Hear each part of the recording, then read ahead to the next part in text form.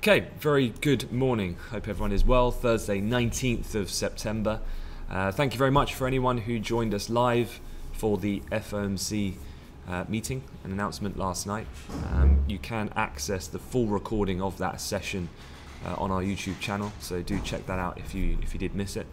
Uh, otherwise, it's I guess a case of the morning after the night before, and digestion of the Federal Reserve and and certainly when we left the office, uh, some of the guys here, Charlie in particular, uh, had two great trades, one on the euro uh, and one on gold, uh, which I'm sure Sam can talk a little bit about from how to have approached that in a, a, kind of execution or a technical setup sense. But certainly that gold move was was pretty prevalent at the time, and all of this was kind of underlying the idea of what was classified, if you like, in a simple sense, as a, as a hawkish cut.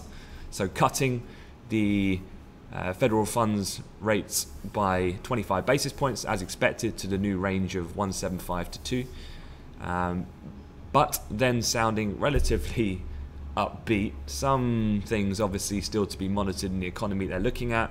There was no express mention of the, the repo rate issue the tightening of liquidity we've seen in the money markets. There was no dramatic dovish shift in the dot plot matrix for their future trajectory of rates and so ultimately, he had uh, what really is, uh, I guess, a bit of a three-phased move, if anything, because you know equities dipped, gold dipped, uh, yields spiked. So hence the reason why you had this kind of uh, not almost not really hawkish, but if anything, disappointment for the doves, if you like, and, and as a net consequence, a hawkish result. So equities and bond prices lower, uh, dollar firmer, uh, and gold lower. Uh, gold as well exacerbated by a lot of the technical levels that were getting breached on both trend lines and support levels as well. Um, then we recovered. I mean, going into the closing bell, I mean, just as we left the office, Sam um, actually left at about, I guess it would have been about 10 to 8, something like that, quarter to 8, uh, and he said, um, he, he whispered, buy the dip, because it's the sort of guy he is. He's a big believer and has been think he's he's dwelling too much on when was it 2018 when he was buying the dip at every opportunity and, and definitely served him well. Uh, but he was right again, and you know the, it went down and uh, and really powerful rally we actually had. You can see in the center charts here. These are the U.S. indices, and raging back into the close. Overnight in Asia though kind of drifted south. We've just had a little run down again, so I'm still quite interested to see how today pans out on further reflection, particularly in the North American crossover when the US come back in. Because if you actually look at the charts, um, equity index futures are lower. Um, that goes for Europe as well as the US. Gold is down 13 bucks, still sitting around a 1500 mark, although it's recovered some of the sell off from yesterday, it's still down. Uh, T notes are down three and a half ticks, so it's still mildly reflecting this idea or notion that uh, perhaps the market was a little overextended in how dovishly uh, positioned it was in its expectations for yesterday's uh, event. Um, let's just have a quick roundup then uh, and a few charts to have a look at in respect to the Federal Reserve. Uh, so for one, the Federal Reserve makers, yeah, as I said, they lowered the interest rate. Powell said that moderate policy moves should be sufficient to sustain the US expansion. Fed officials maintain that very key pledge uh, that, to quote, act as appropriate to sustain the expansion. So that remained. Obviously, there's optionality, although we're talking about here potentially a, a hawkish interpretation. The fact is that they've said as they continue to monitor incoming events, whether that's data or external headwinds, then they would act as appropriate to sustain uh, the expansion. So that optionality that they could cut further if they needed to. um, interest rate on excess reserves cut after the repo rate crunch. I mean, yeah, okay, so that's more a reflection of um, that kind of sits in step with the fact that they lowered the Fed funds rate. There wasn't really any explicit nature of a constant um, uh, stability kind of uh, inaction of a, a, more regular fixed repo rate activity, and that may have disappointed some. This was the dot plot though, and I think this is what was maybe mildly surprising. Uh, as you remember, the dot plot used to look almost identical apart from the 2019 uh, part of this green line. So 2020, 21, 22 longer run, it's remained relatively unchanged. What it used to look like was almost like a, uh, a drop and then up. And now, as we know, we've had two rate cuts, so the, the 2019 end's got to come down. But the rest remains rel- relatively unaltered. So, comparative to what we were looking at yesterday with the ING forecast of what would have been a dovish one, which would have been a significant move to the downside of and, and more shallow trajectory of rates over time, that definitely didn't happen and so again adds to that notion of, uh, of a more hawkish outcome. What's now the, the market pricing going forward? Well, we've got two more interest rate decisions for the Fed for the rest of the year. The next one happens on the 30th of October, the day before the risk of no deal Brexit, the day before Mario Draghi leaves. So, perfect timing. All seems to be coming at once at the end of October.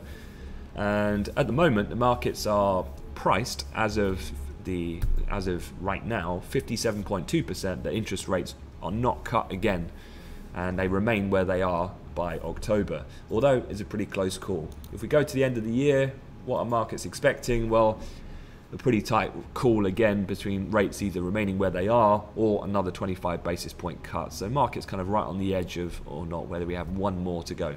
so that's the kind of Fed situation. Not going to dwell on that too much.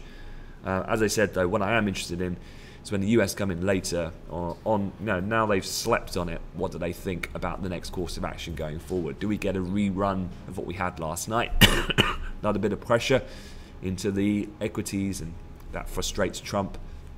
Uh, and he starts tweeting as he did several minutes before he delivered the press conference yesterday for Jerome Powell. Moving on, uh, I'm going to go in chronological order, um, starting with the BOJ. Uh, believe it or not, they actually did have their interest rate decision overnight. Uh, I know it's hard to, to kind of keep on top of these things, and the Bank of Japan haven't made any uh, immediate move. They've not followed the likes of the ECB or the Fed, although it looks more likely or not that they will do. It's just a matter of timing, and perhaps that will come next month.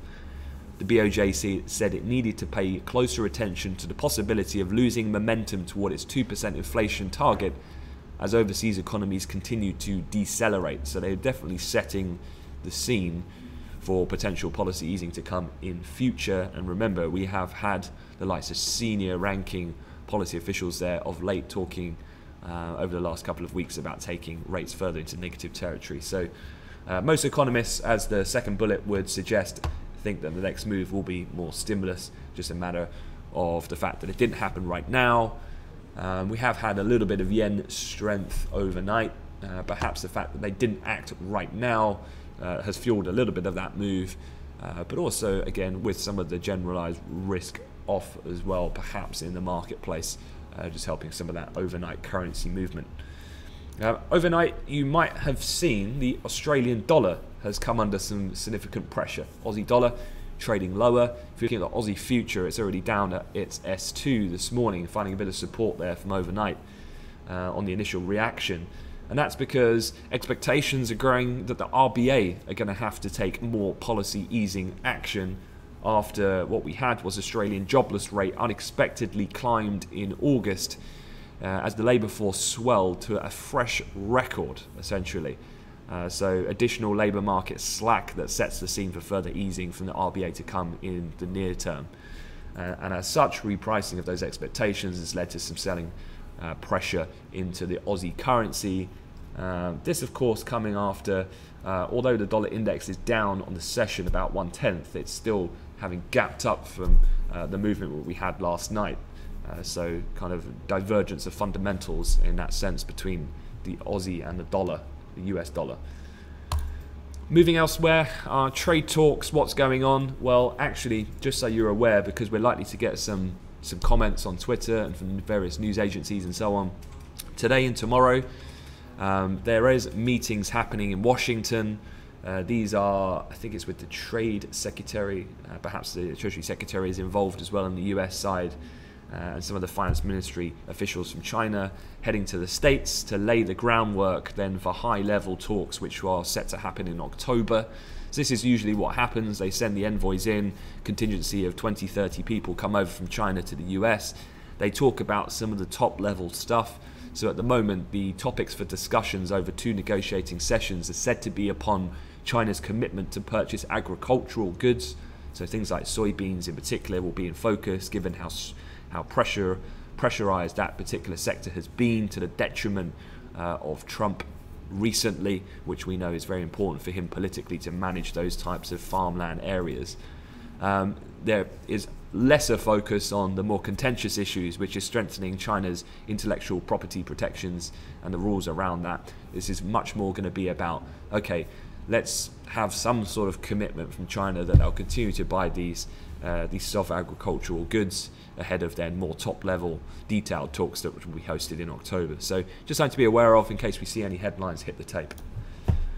Another thing I thought I'd mention, this actually came, I believe, after market yesterday. Uh, perhaps could be something when uh, cash markets open in the States later on the NYSE at 2.30. Uh, Microsoft have unveiled a $40 billion stock buyback. They've also boosted their dividend as well. I think their dividend increase uh, was by 5 cents to 51, 51 cents a share. So I think they've conducted one of these similar size scale buybacks before, but certainly given they are the biggest company in the world, largest company listed in the S&P and the Nasdaq, I definitely would be interested to see how they perform pre-market ahead of the open later. Coming back then to the session ahead, um, you will be well aware that there's been a three-day hearing happening in the Supreme Court in the UK uh, in regards to a number of different factors, there's been three legal cases. One brought about uh, a kind of antiquated Scottish law by 70 MPs. There's been a Gina Miller uh, repeal that's being heard, uh, and one other. These all in regards to contesting the government's ability to have an inaction, prorogation of Parliament is the main kind of theme. Uh, this has been going on for a couple of days. Uh, the main takeaway here that I want to stress to you, you guys is that the three-day Supreme Court hearing ends today. Uh, with justices retiring to consider their verdict, the PM could be forced, if he loses, to recall Parliament, giving opponents of no deal Brexit more room to try to basically disrupt his plan to leave the EU with or without a deal on October 31st. The main way to interpret this would be if the PM loses, and i.e., he has found he's used uh, uh, inappropriately his powers to prorogue Parliament unnecessarily, not for the right reasons, and that leads then to a reopening of Parliament if his hand is forced, that would be an immediate pound positive, and I would expect the pound, at least in the intraday short term, to spike fairly aggressively. Now, this doesn't mean that Brexit is solved and it's a holding of a medium term position. It just means then that the threat of this no deal would diminish as Parliament comes back into work and has more time to try and uh, disrupt the process of the PM's plans to kind of leave, do or die in that situation. So I don't at this point have any set time on when that verdict will be heard, but when it is heard, again, if it goes against the PM, I'd see that as a pound positive if you do hear of any rumours circulate or in fact the news headline breaks while we are here. This does lead us on then into today's session. Um, earlier this morning at 9.30 we will get UK retail sales, so do keep an eye out for that. But um, as per the case really with CPI, not looking for massive movement. And we do have the Bank of England, of course, coming at midday. Um, Bank of England, I really am not going to spend much time in this briefing talking about because all in all, they are going to hold policy steady. There's really no way that they can make any real change in policy at this point, not given the very close proximity of this at, uh, at this point in time at least. Uh, the looming deadline of uh, this Brexit uncertainty. Will that deadline hold, or will we get an extension to January of 2020 or uh, January 31st of 2020? So there's no press conference. This isn't a quarterly inflation report month. It's going to be a one and done. We're going to get the announcement. The likelihood here unchanged, 9 0, unanimous. Uh, but we will get the line by line details of the minutes, and that's probably where there could potentially be some interesting things where they might talk about some of the external things, like the trade war, things like that, but obviously Brexit at the centre of any interest and how they classify those developments and into impacting the UK economy might have some influence on the on the pound. One thing also um, that came out last night, uh, I did say this before. We talked about this about a week ago there is no smoke without fire, and apparently um, Arlene Foster is softening once again about potentially being open to some kind of Northern Ireland specific Brexit solution. Uh, what has been talked about is that you know perhaps then we could have uh, UK having its own ability uh, to be isolated, but Northern Ireland, given its geographic connection to the Republic, would need to keep some kind of EU related uh, regulatory alignment.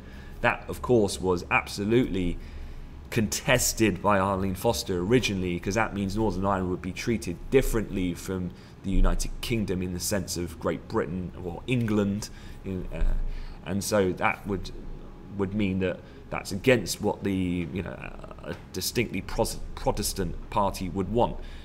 Uh, disruption and having a different uh, relationship from that of the rest of Britain. But needs must, and political uh, relevance is on the on the on the table whether or not the DUP will have any type of say in anything going forward. And so, as I've said before, I think Arlene Foster now you could potentially see some movement because she will not want to have the fact that if we go into a general election, her party and their relevance is diminished by the fact that Boris, if he did come out with a majority, is no longer needed to have a working relationship with the DUP. So, yeah, as, I think this is just continuation of that same mantra. Um, quick look then at the calendar for today. I mentioned retail sales. Then you've got the Bank of England for the US session. Weekly jobless claims as per usual on a Thursday. Philly Fed is coming out. Um, I guess if you were looking at the EM currencies, you've got the South African rate decision, uh, analysts expecting a hold decision there. US existing home sales, 3 o'clock. Uh, and that's about it for the calendar ahead. Uh, just finally, from my side, um, this is the um, Amplify YouTube channel.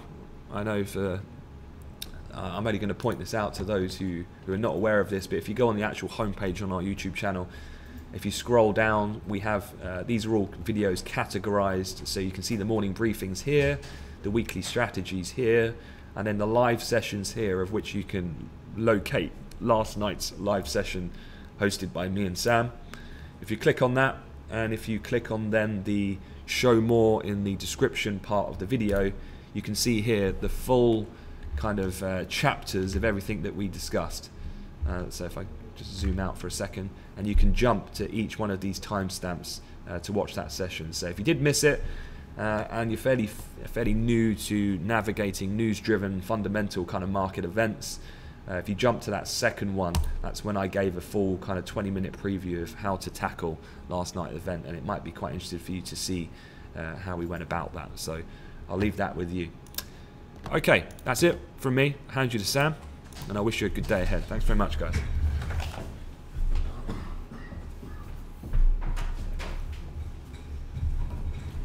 Hi guys. Hope uh, we're doing well this morning. Uh, we'll have a, a, quick look over the uh, the general theme for, for the markets now, and as well, and obviously talk over uh, some of those moves from yesterday. You can see uh, on gold that that level uh, we were talking about seems like every day this week, and, and rightly so. The importance of this area is not to be underestimated. for this week, if we can get a close below there, could be by by uh, for, for now, but it's held so well. And, and why wouldn't it yesterday uh, on the sort of first retest of, of uh, that low that we made from uh, the 13th, Friday the 13th, and a decent bounce to push higher, and uh, we then sort of found resistance on what else has been a, a, pretty good level. You can still see, I'm going to put this onto a five minute from last night, we were saying, so if we put it in, it would have been about, the chart would have looked like this, mm, like that basically.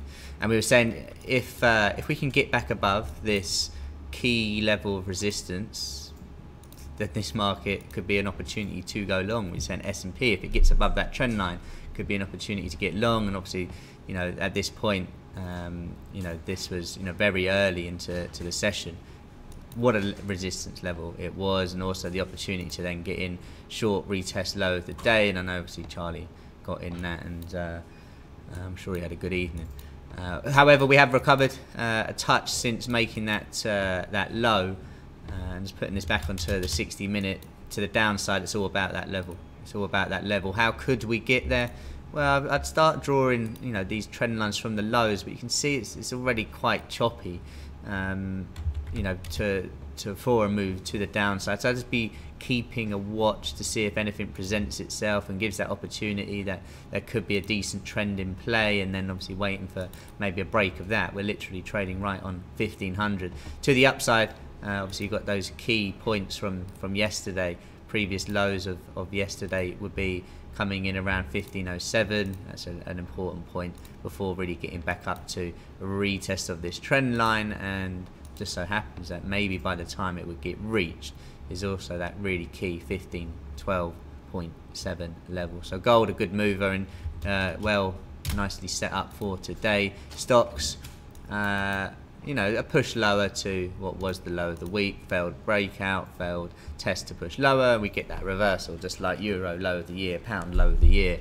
Wait to see where that that market closes um, as well. Just uh, following uh, a, a, push lower we are just starting to see a bit of a rewind We'll come on to European stocks in a moment, but the, uh, certainly of the last hour, Euro Stoxx uh, and DAX have, have done a nice full reversal, and this is helping bring the um, bring the S&P back into play. And just when I was talking a couple of moments ago about uh, gold, we get above there, fine, let's go along. We were saying the same about that trend line in the S&P.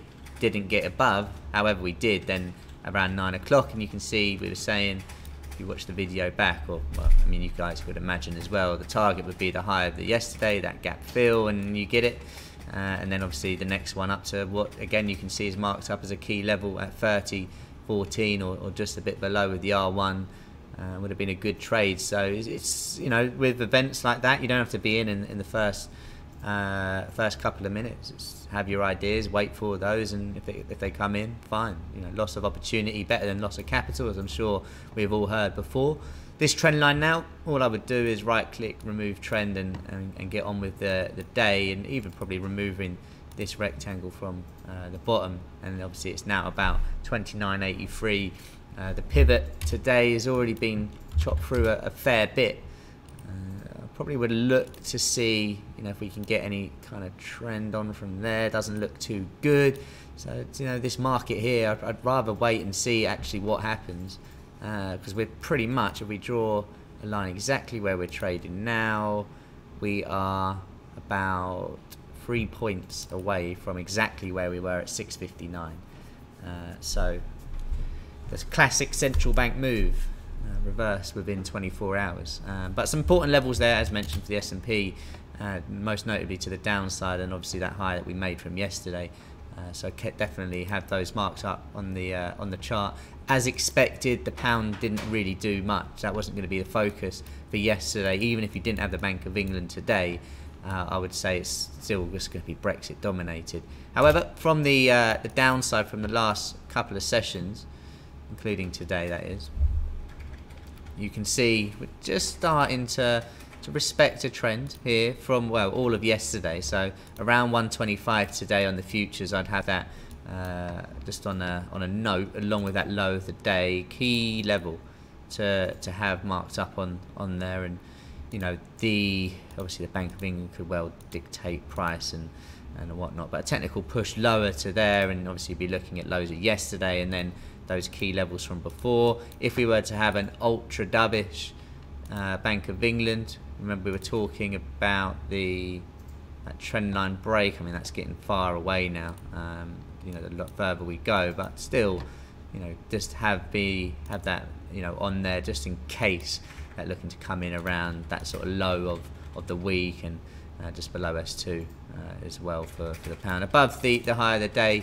perhaps stretch its legs a bit to around uh, this kind of area as a whole around 125 35 we'll do a rundown obviously before uh, the Bank of England but uh, yeah some interesting levels uh, there to, to have on. Just bringing into picture the DAX as, as I mentioned it had uh, reversed that that push lower. You know again here the failed push at pushing lower than yesterday's low. The advantage of waiting for that five minute close you can see we get through it and then the re reaction above is, is, pretty incredible actually. Uh, sharp retracement higher and the DAX is still elevated. You know, these lows, which I'll just highlight here, looks very much like gold in the way of that support. So, end of the week, can we get a close below? And, uh, you know, the failure then to make another high is, is quite key. So this is that real key now zone to keep an eye on the DAX. Below here, coming in around 12,300. Um, yeah, could get uh, could get ugly below there, should we say? But at the moment, it's, it's not interested in, in doing so.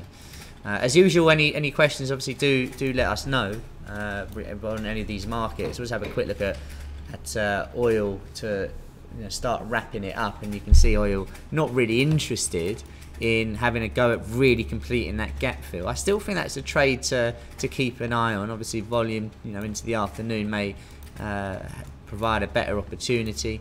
The original low from the Monday, which was obviously the high that we had back on the temp held well. We didn't really get a close below there until yesterday afternoon. The retest of that before the DOEs was solid and came lower and you know you're not going to be upset that you've just made uh, 110 uh, ticks. Obviously, it doesn't look that much on the screen, but that's because of the, the moves we've had over the, the week so far. Uh, so that's a key level, 58.62. I do actually quite like the idea of seeing a, a push to the downside to try and attack some of these levels on the left-hand side. Obviously, time will will tell, uh, and really could be changed by one comment um, uh, as well. Also, worth having a look for for those that do trade it. It literally just caught my eye now uh, from before. Bitcoin now below 10,000 uh, again there, breaking some key support. Big spike, and you can see just, you know, if we talk percentages of this move, where is it? Currency. I mean, this is at 4 a.m. and you're getting a 5% move. Yeah, I'll take. Uh, I'll take a few points on the S&P over that at the moment. Uh, as usual, any questions do let us know. European stocks are rebounding nicely. That's dragging US equities higher. Bank of England, the, the main one to focus on uh, around midday. Gold, just have a look at this uh, trend line to see if we can start getting anything respected. 1492 for the day and the week is vital. As usual, any questions, please uh, do let us know. But I hope you'll have uh, a great trading day.